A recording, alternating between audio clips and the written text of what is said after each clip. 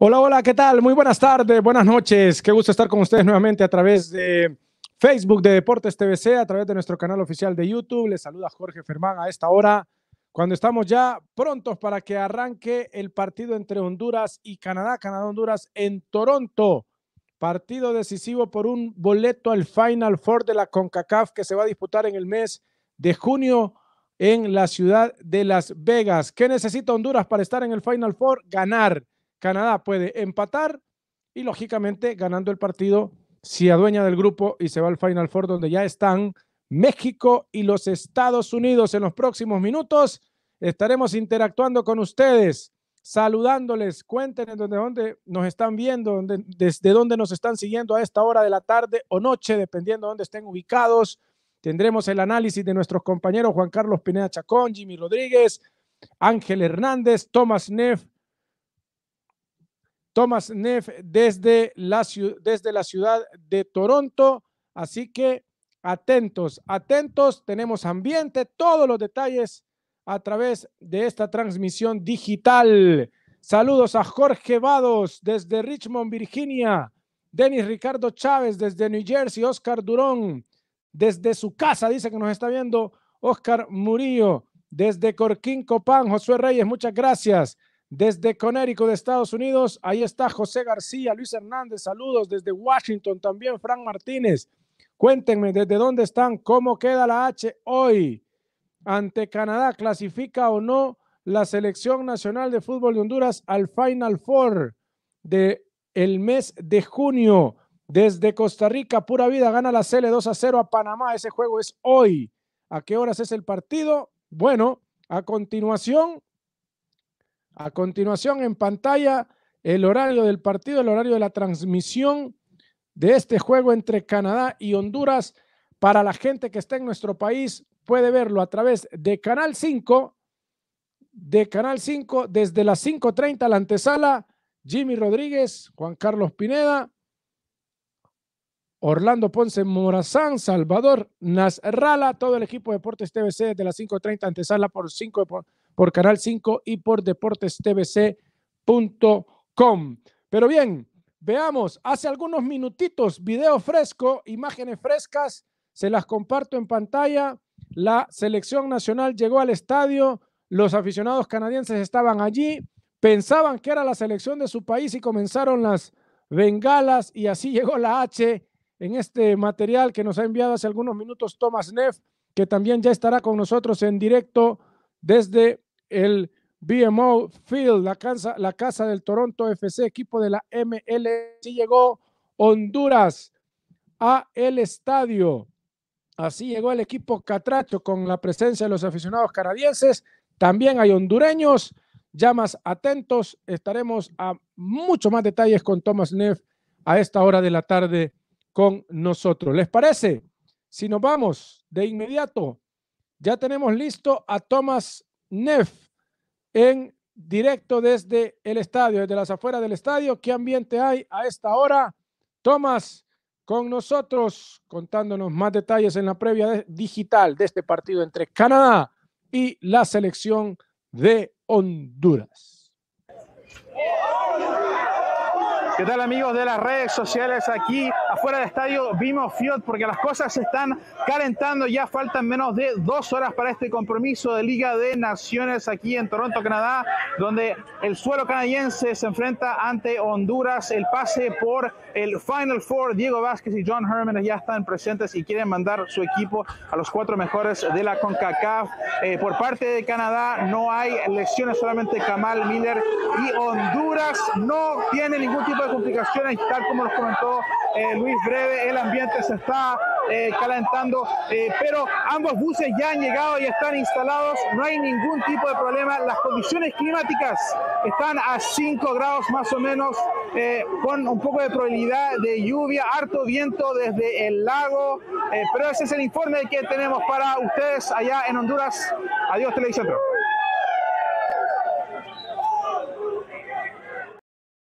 Bien, las palabras, eh, la descripción de Thomas Neff desde el estadio de las afueras del BMO eh, Field, allá en Toronto, Canadá, en Ontario, Honduras, a partir de las 6 de la tarde hora hondureña. Comienza este duelo entre catrachos y canadienses. Desde Providence nos está saludando Walter Flores, que está en YouTube con nosotros.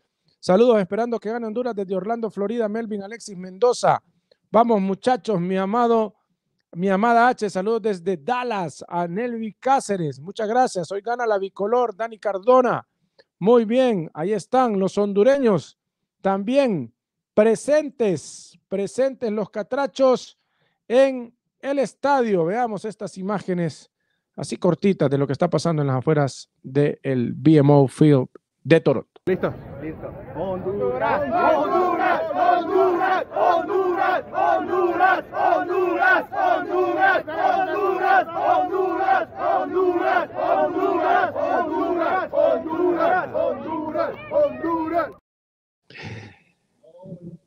Bien, ahí están los hondureños en las afueras del BMO o BMO, la casa del equipo de los del Toronto FC en la MLS.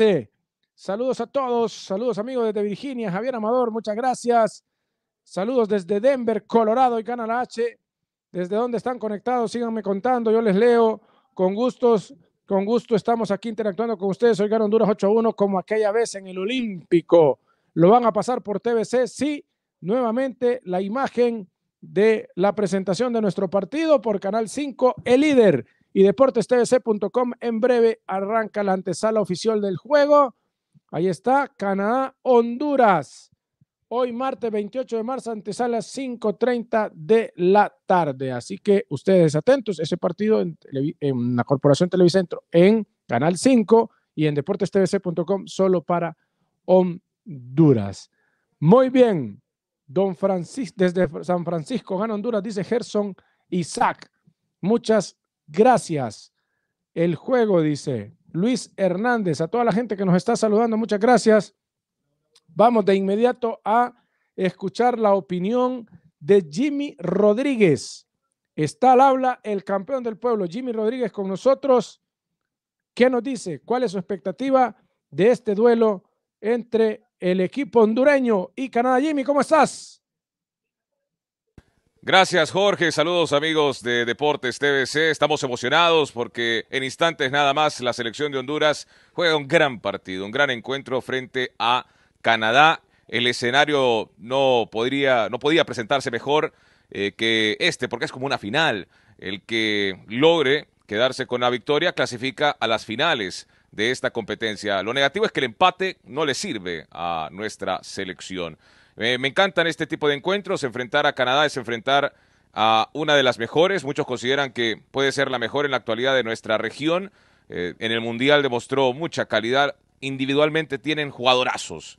Alfonso Davis, Jonathan David, Kyle Arina, una fuerza ofensiva que van a poner a prueba a nuestra selección. Pero confiamos, confiamos que el equipo que dirige Diego Vázquez puede hacer hoy una muy buena presentación eh, que refleje esa evolución que ha venido teniendo eh, con los partidos y que pueda conseguir el resultado. No somos favoritos, eh, estamos claros con eso, pero no, no, no nos dejamos de ilusionar por lo que pueda presentar hoy ante Canadá. Esperamos que Romel Kioto, que el Choco Lozano, que sabemos serán titulares o confiamos que van a ser titulares, si tienen una oportunidad que la sepan aprovechar, mucha contundencia y el orden defensivo, el sacrificio de todos será clave para lograr el objetivo. Así que a confiar, a confiar y apoyar como siempre a nuestra selección. Saludos Jorge, saludos a todos y a seguir palpitando esta previa entre Canadá y Honduras.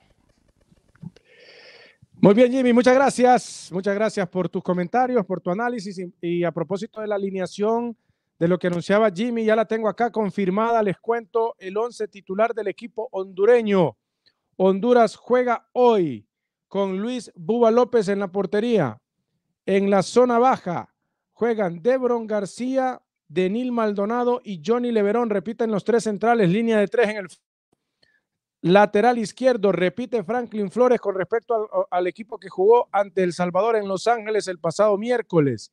También Oscar Almendares, línea de cinco, tres en el fondo, dos carrileros, los mismos que estuvieron contra El Salvador hoy ante el equipo canadiense. En el medio campo, David Flores y Kervin Arriaga también repiten.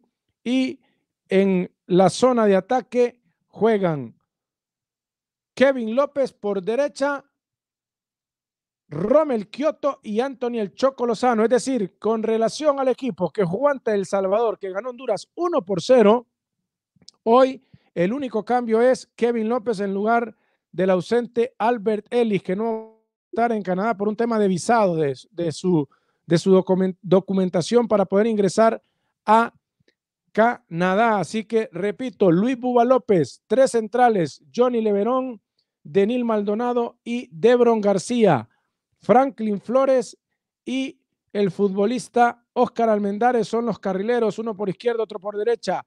David Flores y Kevin Arriaga, los dos volantes centrales. Kevin López por derecha, Rommel Kioto abierto por izquierda y Anthony El Choco Lozano como nueve en la zona ofensiva del equipo hondureño. También tengo acá el once titular de Canadá, el equipo de Herman, de John Herman, Milan Borjan, el guardameta, capitán, Alistair Johnston, Stephen Eustaquio, Ismael Kong, eh, Jonathan Davy, Buchanan, juega Cornelius, Sai Larín, Alfonso Davis, figura del Bayern Múnich, Jonathan Osorio y Scott Kennedy, jugador también canadiense que hoy es titular ante los hondureños. Ahí está, ¿qué les parece el 11? Repite prácticamente el mismo equipo, solo Kevin López en lugar de Albert Ellis. Están saludando aquí a Jimmy, Carolina Girón, saludos desde Santa Ana, La Paz. Gracias a todos. Pero ¿qué tiene que decirnos Ángel Hernández? Ángel Hernández, nuestro compañero de Deportes TVC también, sobre este juego entre Honduras y, el, y la selección de Canadá. Ángel, buenas tardes, qué gusto saludarte. Amigos de deportestvc.com, duelo crucial para nuestra selección nacional y la condicionante principal es que solo sirve ganar. Yo creo que todos estamos de acuerdo que Honduras va a salir muy ordenado, que va a tratar de defender lo máximo posible contra esta selección canadiense que tiene nombres importantes, pero aquí la clave es qué hará Honduras con la pelota en esos lapsos de tiempo cortos o no sé si tan cortos que pueda tener con el balón por ejemplo, vimos a Jamaica competirle de tú a tú a México en el mismo Estadio Azteca, le anotó dos goles. Por otro lado, El Salvador a Estados Unidos no nunca lo atacó, nunca eh, rompió ese esquema defensivo con el que salió en el partido y perdió por la mínima 1 a 0. Entonces, la gran incógnita es cómo saldrá Diego Vázquez, cómo encarará los momentos Honduras en los que tenga la pelota, porque habrá que anotar, hay que hacerle al menos un gol a Canadá por ejemplo, si Canadá marca uno, Honduras necesitaría dos goles, entonces está claro que hay que anotar goles para estar en el Final Four. No ajustará solo defender, no ajustará solo un planteamiento defensivo donde estén eh, cinco jugadores en la línea defensiva, cuatro quizás por delante, yo creo que puede salir cinco, cuatro, uno. Eh, no sé si utilice dos delanteros Diego Vázquez, pero así están las cartas sobre la mesa. El mejor partido de Honduras quizás en toda la octagonal fue en Canadá. Ojalá eso sirva de inspiración para los jugadores, que sirva de inspiración el partido de ida donde se le ganó en suelo catracho. Y es que Honduras sería quizás la única selección que le ganó un partido a una de las favoritas. Ni Jamaica le ganó a México, ni El Salvador le pudo ganar a Estados Unidos. Y bueno, más parejito todo en el grupo de Costa Rica y Panamá. Ojalá un triunfo de nuestra H. Sería un batacazo, sería la gran sorpresa. Es muy difícil, pero ojalá sea posible.